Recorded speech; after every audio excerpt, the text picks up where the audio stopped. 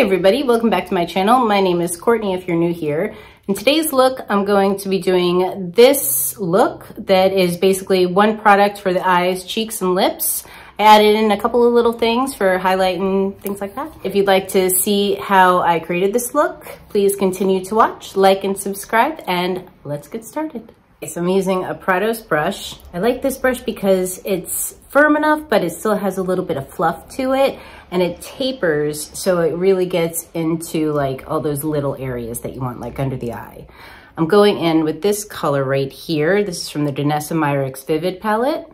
Gotta get my glasses. It's called Mango. I can't see anything close up anymore. I'm going in with the side of the brush and I'm just gonna throw that under here and just go back and forth. And you want to elongate it, but you don't want it to go too far up because you want it to kind of tilt down a little bit at the end. So now with the flat part of the brush, dip back into there and you're going to throw that all over the lid. Make sure to get it really close to the lash line. And you can start to make that shape. So it goes up and then it starts to head down to that outer corner. You see it kind of like tilts down a little bit, not too much.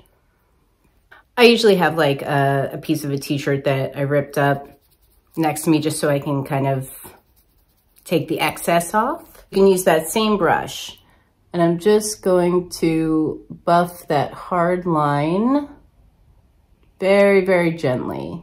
Because it's a cream product, it is waterproof once it sets. And then just with my fingertip, I usually buff it a little bit more.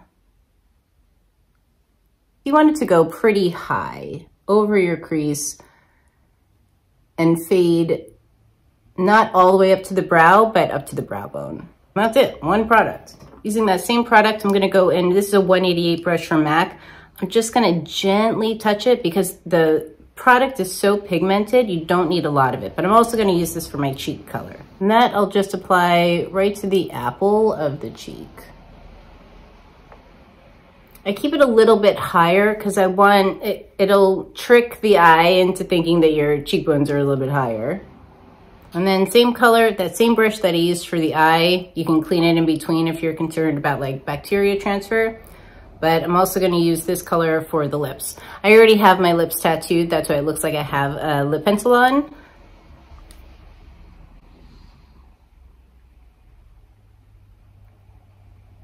Let me just throw that on. I like using a larger brush rather than a more precision brush for applying the lip color because I don't want it to have a perfect lip line. I want it to be a little bit more diffused. So apply the color mainly on like the bulk of the lip. And then with what's left,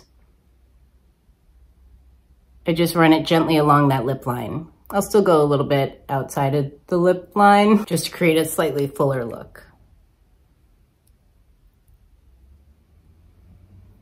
Get anything that's a little too blurred or it gets a little too messy, you can go, go in and clean that up with a Q-tip. For the highlight, I'm gonna use, this is by About Face Beauty, Light Lock Highlight Fluid, and this is gold. It comes with a dropper, but I find that's probably good if you're covering more area. So it's probably lovely on the, on the chest. Um, but since I'm just using it for my highlight, I'm just gonna go work off of the side of it. Just take a little bit with my fingertip. And then just add that as my highlight. This is really beautiful. It goes on pretty sheer, but you can build up the color so you can get a really beautiful like foil look that catches the light really nicely. You can throw a little bit on the inner corner there, throw a little bit on the tip of the nose, down the bridge, a little on the chin. You can throw a little bit under the brow, looks really nice as well. Finish off the look, I'm gonna use Drama Bomb by Wilma Beauty for my mascara. I already have a little bit of mascara on, but I really just love this as a re-wetting mascara. It builds so nicely on itself. Top and bottom.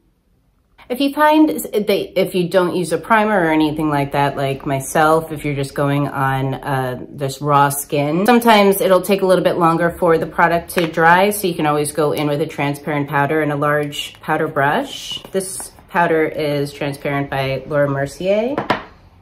This brush is by Prados Beauty too. I put a little bit into the cap, push it into the brush, and then I'll push it in a little bit more onto like my hand.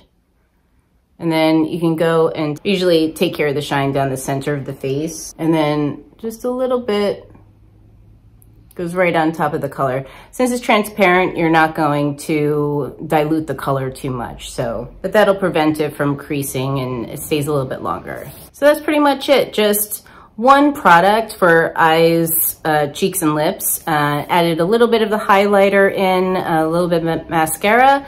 Takes no time at all. You can apply it with your fingertips or some of your favorite brushes. Uh, but I find it to be a really dynamic look.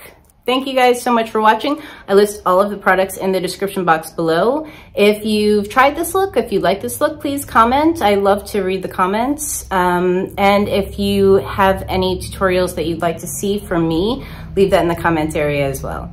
Thank you guys so much for watching. Like and subscribe, and I'll see you next. And I'll see you in my next video. Thanks. Bye.